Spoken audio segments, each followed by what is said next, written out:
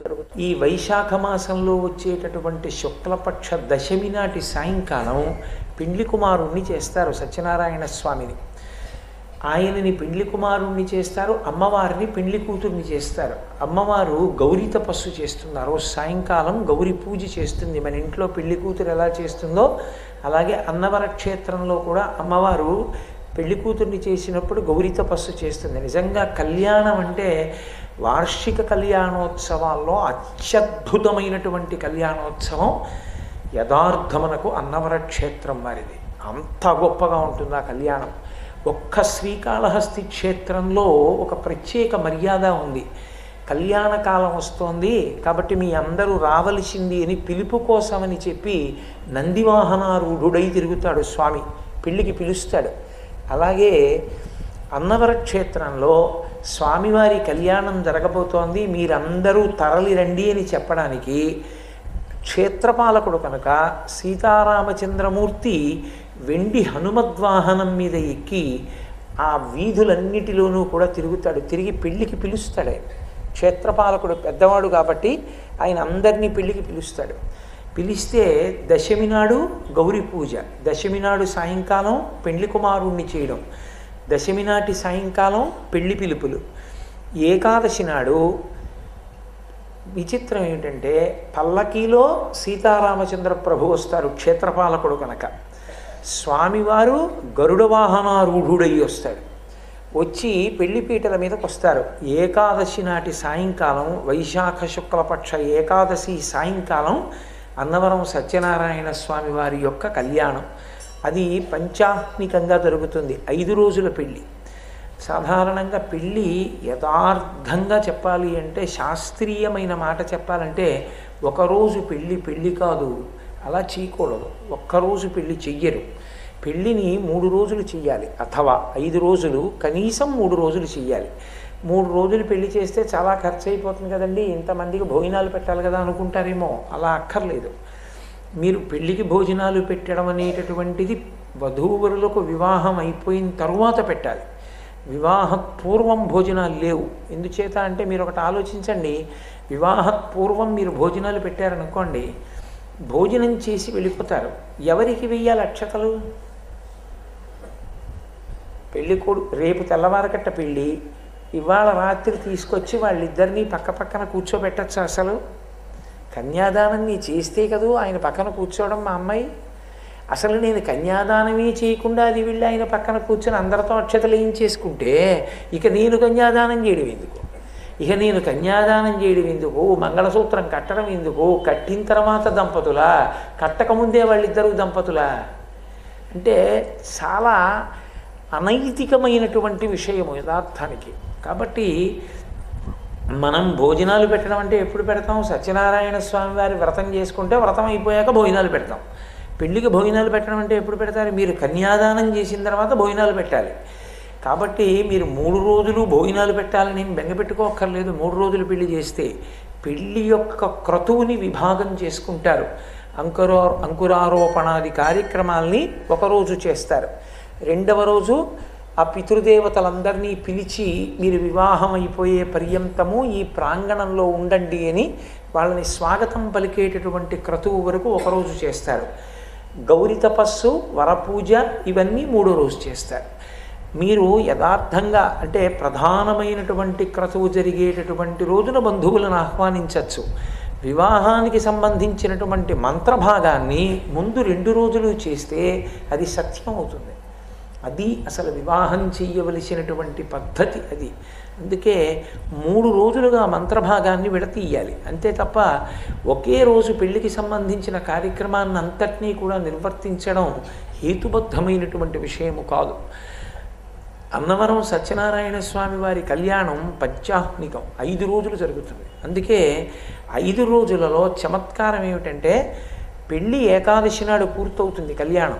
పెళ్ళి కాదు మనం చేసుకుంటే వివాహం. స్వామికి జరిగితే కళ్యాణం. జీవబ్రహ్మైక్య సిద్ధి. కాబట్టి కళ్యాణము ఏకాదశి నాడు జరుగుతుంది. ద్వాదశి నాడు వాళ్ళు విహారం చేస్తారు. ఆ పంపా సరోవరంలో నౌకా విహారం చేస్తారు. తర్వాత రావణ వాహనం మీద ఊరిరుగుతారు. అందుకే అన్నవర క్షేత్రం ఒక్క దాంట్లోనే ఒక ప్రత్యేకత జరుగుతా చెప్తారు. వస్తున్నవాడు విష్ణువు వాహనం శివుడిది.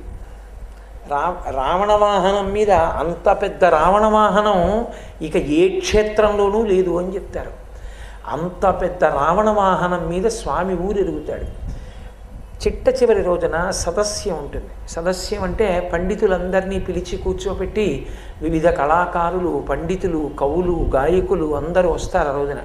వచ్చి స్వామివారి మీద కవిత్వం చెప్తారు పద్యాలు చెప్తారు పాటలు పాడతారు. వాద్యములు వచ్చిన వాళ్ళు వాద్యములు మ్రోగిస్తారు. వాళ్ళందరినీ కూడా దేవస్థానం సత్కరించి పంపిస్తూ ఉంటుంది. అంత అద్భుతంగా జరిగేటటువంటి ఐదు రోజుల కళ్యాణ క్రతువు వీరవెంకట సత్యనారాయణ స్వామి వారికి మాత్రమే జరుగుతుంది వార్షిక కళ్యాణంలో.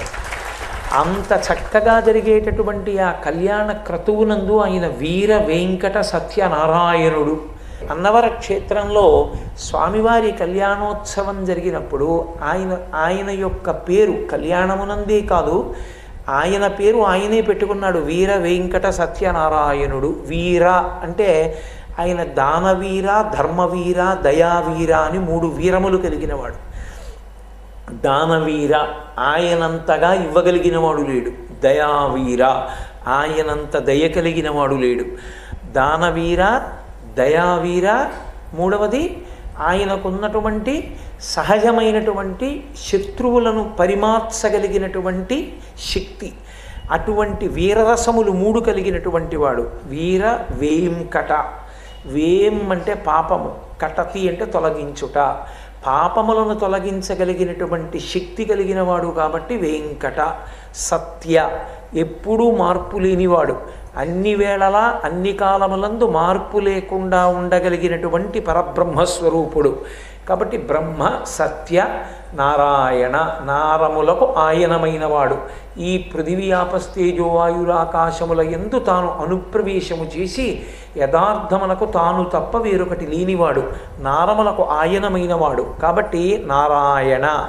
వీర వెంకట సత్యనారాయణుడై ఉంటాడు. అందరూ ఆయననే పొందాలి. పతిం విశ్వస్యాత్మేశ్వరగం శాశ్వతగం శివమచ్యుతం. ఆయనే పురుషుడు కనుక లోకంలో లౌకికంగా స్త్రీ పురుష విభాగం ఉంటుంది. కానీ వేదాంతమునందు మనందరికీ ఒక్కడే పతి. ఆయన ఒక్కడే పురుషుడు. ఆయన ఒక్కడే పురుషుడు. అందరూ ఆయనకి ఆయననే పొందాలి కాబట్టి గొండు మీసాలు పెట్టుకుని ఉంటాడు. గండు మీసాలతో వాటి మీద నిమ్మకాయలు నిలబెట్టచ్చు అంతంత గండు మీసాలు పెట్టుకుని ఉంటాడు. ఎందుకని అంటే నేను ఒక్కడనే పురుషుణ్ణి. వీళ్ళందరూ నన్ను పొందుతారని చెప్పడానికి గండు మీసాల వీరుడై ఉంటాడు. అటువంటి వీరవేంకట సత్యనారాయణ స్వామి వారి యొక్క అత్యద్భుతమైనటువంటి కళ్యాణ మహోత్సవం జరిగేటటువంటి రోజులు వైశాఖ మాస శుక్లపక్షమునందు వచ్చేటటువంటి దశమి నాడు ప్రారంభమై ఏకాదశి నాడు కళ్యాణమై పంచాత్మికముగా జరిగేటటువంటి పవిత్రమైన రోజులు. భగవంతుని యొక్క నామములు గౌణములు. గౌణములు అన్న మాటకు అర్థం ఏమిటంటే ఒక్కొక్క గుణము దాని చేత ఆవిష్కరింపబడుతుంది. పేరు అనేటటువంటిది లౌకిక ప్రయోజనంలో చూసినప్పుడు ఒకరిని సంబోధించడానికి పనికొస్తుంది. నన్ను పిలవవలసి వచ్చిందనుకోండి కోటేశ్వరరావు అని పిలిస్తే వెంటనే ప్రతిస్పందిస్తాను అటువైపుకి తిరిగి పలుకుతాను. ఆయనని సంబోధించడం కోసం ఒక పేరు ఉంచుతూ ఉంటారు. అది భగవంతుని యొక్క నామాన్ని కలుపుకుంటే వచ్చే ప్రయోజనం ఏమిటి అంటే ఆ పేరు పెట్టి పిలిచినప్పుడు పిలవబడిన వ్యక్తి సాధారణమైన వ్యక్తి అయినా తెలిసో తెలియకో భగవంతుని యొక్క నామాన్ని ఉచ్చరించడం జరిగింది కాబట్టి భగవంతుని యొక్క నామమును ఉచ్చరించినప్పుడు ఏ ప్రయోజనము కలుగుతుందో అదే ప్రయోజనం కలుగుతుంది. పోతన గారు భాగవతంలో అజామీలో ఉపాఖ్యానం చేస్తూ ఒక మాట అంటారు. బిడ్డ పేరు పెట్టి పిలిచిననైన విశ్రామ కేళినైన పద్య గద్య గీత భావార్థములనైన కమ కమలనయన తలుప కలుషహరము అంటారు. కొడుక్కి భగవంతుడి పేరు పెట్టుకుని కొడుకుని పిలిచిన పది మాటలు భగవంతుని యొక్క నామాన్ని పలికాడు కాబట్టి భగవన్నామోచ్చరణము చేత వచ్చేటటువంటి ఫలితాన్ని పిలిచినటువంటి తండ్రికి సంక్రమింపచేస్తారు అలాగే ఆడుకునేటప్పుడు ఏదో రెండు పక్షాలుగా విడిపోయి అవతల పక్షంలో వాళ్ళందరికీ భగవంతుని యొక్క పేర్లు యువతల పక్షంలో వాళ్ళకి భగవంతుని పేర్లు పెట్టుకుని ఆడుకున్నప్పటికీ కూడా భగవంతుని యొక్క పేర్లు పిలిచాడు కాబట్టి తరింపచేస్తారు. పద్య గద్య గీత భావార్థములనైన. అది పద్యం కావచ్చు గద్య కావచ్చు గీతం కావచ్చు పాట కావచ్చు. భగవత్ సంబంధము అందులో ప్రతిపాదింపబడినప్పుడు అది తరించడానికి కారణమవుతుంది. లోకంలో అందరికీ ఏదో ఒక్క పేరు ఉంటుంది. ఆ పేరుతో పిలుస్తారు. అంతకన్నా ఎక్కువ పేర్లు ఉన్నాయనుకోండి ఆ పేరుతో పిలిచినప్పుడు నా పేరేనా అన్న అనుమానం ప్రతిస్పందించడంలో వైక్లభ్యం కలుగుతాయి. ఏదో ఒక్క పేరు ఉంటే కోటేశ్వరరావు అని పిలవగానే తిరిగి పలుకుతాం. నాకు యాభై పేర్లు ఉన్నాయనుకోండి నాకే జ్ఞాపకం ఉండద్దు ఆ యాభై పేర్లు ఇవ్వటం మీరు ఏదో పేరు పెట్టి పిలిస్తే నేను పలకచ్చు పలకపోవచ్చు. మర్చిపోయినంటే నాకు ఆ పేరు ఉందన్న విషయం అనొచ్చు. కానీ మీరు భగవంతుని యొక్క నామములు పరిశీలనం చేస్తే ఆయనకి ఏదో ఒక్క పేరు ఉండదు. అనేకమైన పేర్లు ఉంటాయి. అలా అనేకమైన పేర్లు ఉండడానికి కారణమేమి అంటే అవి గుణములను ఆవిష్కరిస్తాయి. ఒక్కొక్క పేరుతో భగవంతుడిని పిలిచినప్పుడు అది భగవంతుడికి తల్లిదండ్రులు బాలసారి చేసి పెట్టినటువంటి పేరు కాదు. ఆ పేరు ద్వారా ఆయన ఏం చేస్తూ ఉంటాడు అన్నది ఆయన లోకమునకు చేసేటటువంటి గొప్ప అనుగ్రహము వ్యక్తమవుతుంది. శ్రీ వెంకటేశ్వర అన్నాను అనుకోండి వేం పాపం కటపే యస్మాత్ పాపదహన శక్తిత. వేం అంటే పాపం. దాన్ని తొలగించేటటువంటి వాడెవరో ఆయన వెంకటేశ్వరుడు. అందుకే కలిబాధ మాన్ప తిరుమల కలియుగ వైకుంఠమనగ గైసేసిన మీ సలలిత కరుణాహృదయము కలలోనను మరువరాదు కంజదలాక్ష అంటారు. చేసిన పాపాలన్నింటినీ తల వెంట్రుకలను ఆశ్రయించి ఉంటాయి కాబట్టి తలనీలాలు తీసుకున్నటువంటి రూపంలో మన పాపములను తీసేస్తాడు కాబట్టి ఆయనకి వెంకటేశ్వర అని పేరు. ఒక్కొక్క చోట ఒక్కొక్క స్వామికి ఒక్కొక్క పేరు పెడతారు. ఆ పేరు ద్వారా ఆయన లోకమునకు చేసేటటువంటి అనుగ్రహము వ్యక్తమవుతుంది. శ్రీ వీరవేంకట సత్యనారాయణ స్వామి అవతారంలో ఆయన పిలవబడినటువంటి పేరు అది. అది ఎవరో పెట్టింది కాదు. ఆయనే చెప్పుకున్నాడు ఒకప్పుడు. వెంకట రామరాయణం బహద్దూర్ వారని అన్నవరం దగ్గర ఉండేటటువంటి వారు. వారి వంశం వారే ఇప్పటికీ కూడా అన్నవర దేవస్థానంలో సత్యనారాయణ స్వామి వారికి అనువంశిక ధర్మకర్తలు. వారికి అలాగే గోర్స గ్రామం దగ్గర ఉన్నటువంటి ఇనుగంటి ప్రకాశరావు గారని ఒక బ్రాహ్మణ కుటుంబానికి చెందిన వ్యక్తి. వారికి ఇద్దరికీ ఏకకాలంలో స్వప్నంలో కనపడి నా పేరు వీరవేంకట సత్యనారాయణుడు. నేను అన్నవరం అనబడేటటువంటి గ్రామంలో రత్నగిరి అనబడేటటువంటి కొండ కింద పొదలలో ఉన్నాను. కలియుగంలో భక్తుల్ని ఉద్ధరించడం కోసం అవతరించినటువంటి స్వరూపం. మీరు ఈ శ్రావణ మాసంలో అంటే అప్పుడు నడిచిన కాలం శ్రావణ మాసంలో మఖా నక్షత్రంలో శుక్లపక్షంలో విధియ తిథి నాడు మీకు ప్రకాశిస్తాను. మీరు నన్ను వెతకండి అని ఆజ్ఞాపించాడు. ఇప్పుడు ఉన్నట్లుగా ఉన్నటువంటి పరిస్థితి కాదప్పుడు. అన్నవరం కొండంతా కూడా పొదలతోటి పెద్ద పెద్ద చెట్లతోటి నిండిపోయి ఉండేది. కాగడాలు పట్టుకొని ఏవైనా క్రూర మృగాలు అవి మీద పడతాయని పరివారంతో కలిసి రాజావారు ప్రకాశరావు గారు వెళ్ళి వెతికితే మధ్యాహ్న కాలమైనా కూడా ఆయన కనపడలేదు.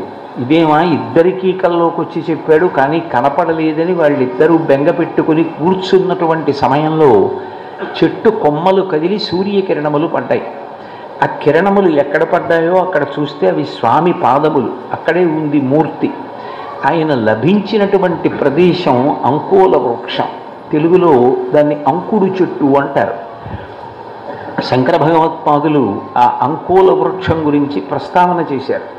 వారు మహాపురుషులు. శంకరాచార్యుల వారు యావత్ భారతదేశాన్ని పాదచారి అయి పర్యటించారు కాబట్టి వారికి తెలియని విషయం ఏమీ లేదు. కైలాస శంకరుడే కాలడి శంకరుడిగా వచ్చాడు. అందుకని వారు ఆ అంకోల వృక్షం గురించి ప్రస్తావన చేశారు.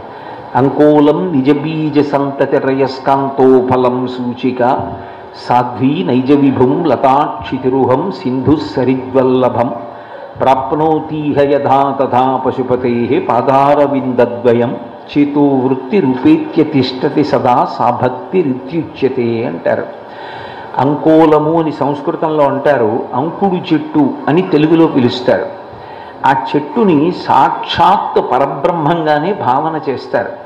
ఒక చెట్టు రూపంలో పరబ్రహ్మాన్ని చూడాలి అంటే అంకుడి చెట్టు రూపంలో చూస్తారు. ఇప్పటికీ అంకుడి చెట్టు చూడాలి అంటే శ్రీశైలంలో